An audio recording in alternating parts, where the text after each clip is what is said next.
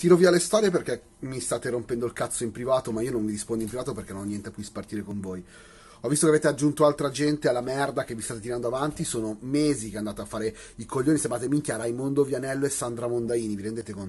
Una volta si parlava tanto di fare i rapper, di fare quelli da strada, che poi voi vi siete sempre vantati di essere i rapper da strada di sto cazzo e non... E quando c'è da dimostrarlo veramente di fare il rapper non lo fate. Non esistono più i come al solito, tante belle parole, uno di 40, l'altro con la mascherella di cazzi, che, che per avere un po' di, di, fama deve andare a striscia notizia, la Nerone che si mette in mezzo a random, così a buffo, Henry che parla, tanto quello poi...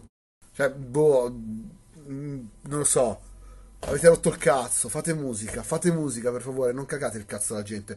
Che sti teatrini di merda, la gente adulta che ha anche una visibilità Mm, ma non è che ci attacchiamo all'hype, a parte che lo sanno benissimo che qua in Italia gli unici che riescono a fare hype a portarvi qualcosa realmente come contenuti siamo noi. E, e non, ci, non, ci, pigliamo per il culo, che qua i magazine sono tutti morti tranne noi.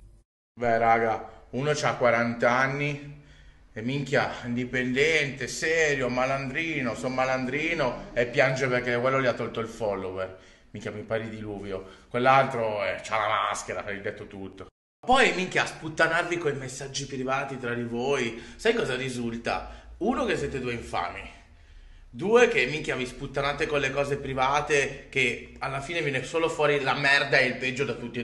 Altre cose.